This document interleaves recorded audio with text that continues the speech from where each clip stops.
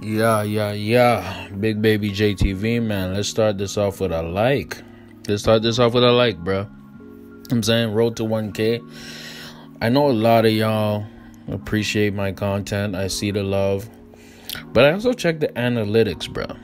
About 91 or 92% of my viewers are not subscribed to me.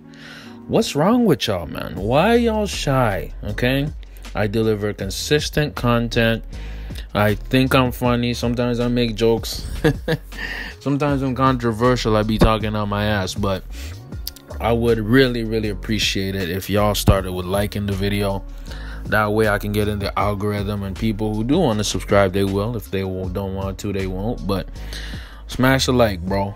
Or just comment how much you hate this uh this dark skinned run these chocolatey gentlemen talking to you. well let's get into it though. Justin Trudeau, man, Justin Trudeau, about a week ago, he went to the Governor General, the new one, and decided to call an election, right? So, according to Canadian politics, uh, the Prime Minister can call an election um, according to his discretion. You know what I'm saying? And the thing about this is that this election is going to be happening September 30th, right?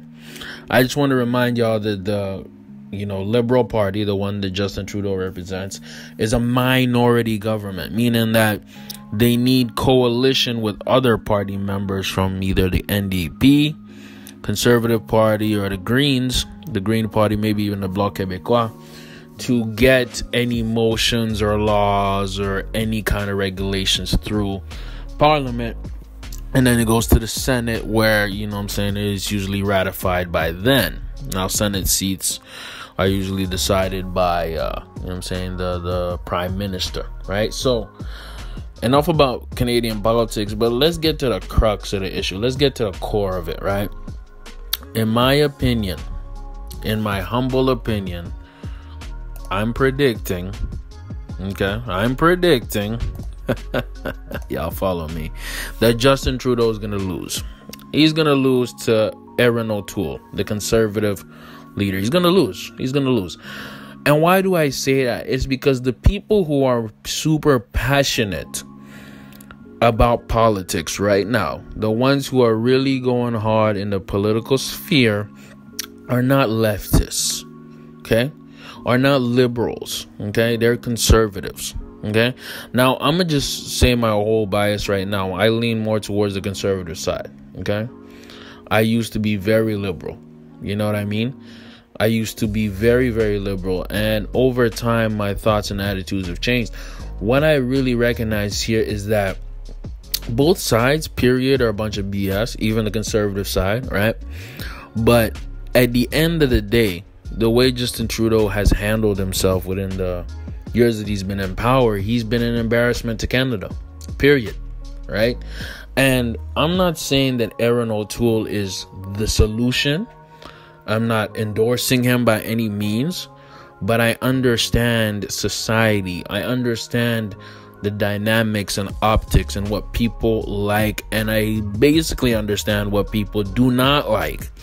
And people don't rock with Justin Trudeau at all, bruh at all. Okay, especially the way he handled his cabinet, the way he handled his old governor general, the way he's handling the coronavirus, the way he's trying to put up bills that censor people more, the way the Canadians are frustrated with what's happening right now. I see more and more Canadians willing to go to the polls and get this guy out. They're gonna get this guy out, and I think it might be a crazy sweep. And we saw this kind of happen in Nova Scotia, which was which is East Coast, uh, you know, ty- you know, I'm saying, type of uh, province, where uh, the Conservatives won. They weren't expected to win, but they won because the people on the ground who are politically engaged are more on the conservative side these days, right? And Trudeau is thinking that he's slick by calling a snap election in the middle of a panini. You know what I'm saying? In the middle of a panoramic, right?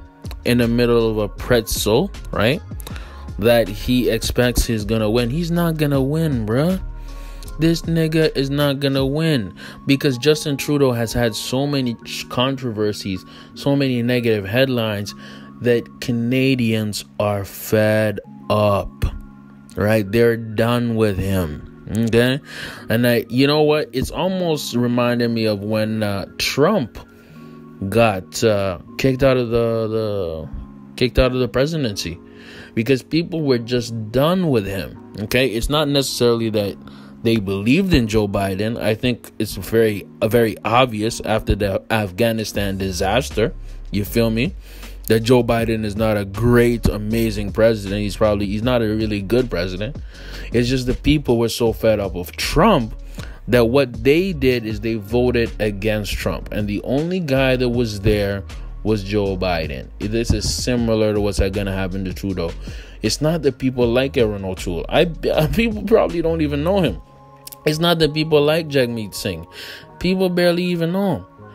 It's just that they don't trust Justin Trudeau. And it's going to be a bloodbath, and I'm predicting it's going to be a landslide victory for the Conservatives, man. Big Baby JTV, man. What y'all think, man? Should I cover more politics on this channel? yeah, probably get a lot of hate for that. But, anyways, man, roll to 1K, join the Patreon family, and I'm out, bro.